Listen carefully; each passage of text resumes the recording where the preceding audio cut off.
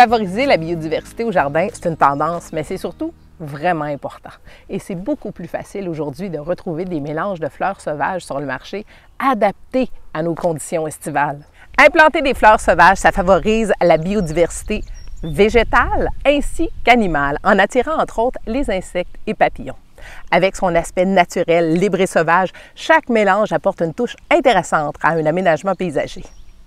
Gloco, une compagnie 100% québécoise, a développé plusieurs thématiques vraiment intéressantes qui vont vous encourager à changer un bout de gazon ou même créer des oasis de biodiversité pour les pollinisateurs.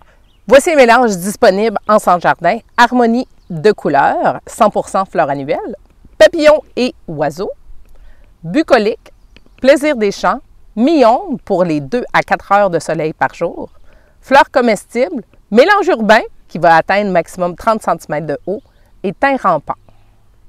Il y a un nouveau venu dans la gamme éco-rustique, c'est le mélange urbain qui est composé de vivaces, fleurs annuelles et bisannuelles, mais qui ne dépassera pas à maturité 30 cm de hauteur. C'était vraiment un besoin des consommateurs parce que c'est plus sécuritaire, par exemple, pour sortir de votre cours, d'avoir un mélange qui est plus petit. Vraiment intéressant pour les milieux à densité forte.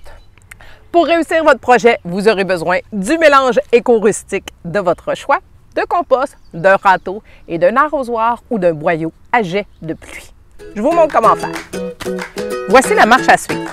Délimitez l'endroit où sera semé le mélange de fleurs sauvages. Désherber, éliminer les débris, les roches et niveler. Évitez la formation de buttes ou de cuvettes. Étendez environ 0,5 à 0,75 cm de compost en surface, environ un quart de pouce. Incorporez le compost au sol au moyen d'un râteau.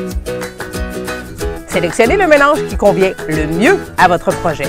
Mélangez le contenu du sac avant de l'ouvrir pour bien disperser les semences dans le mélange de paillis.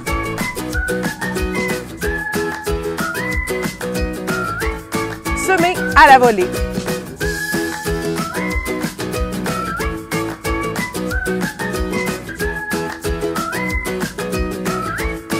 recouvrir d'une mince couche de terreau léger.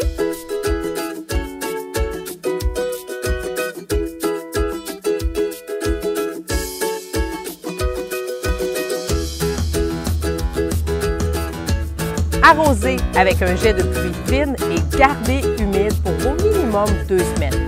Patientez et vous allez voir rapidement les premières pousses apparaître.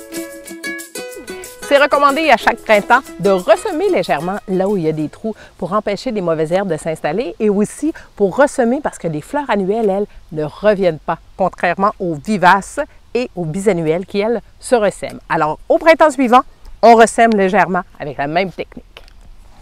Essayez les nouvelles variétés éco-rustiques. Je les ai essayées moi-même et je vous annonce mon coup de cœur pour les fleurs comestibles, particulièrement avec mes garçons. Vous allez voir, c'est beau, c'est facile d'entretien et c'est facile à implanter.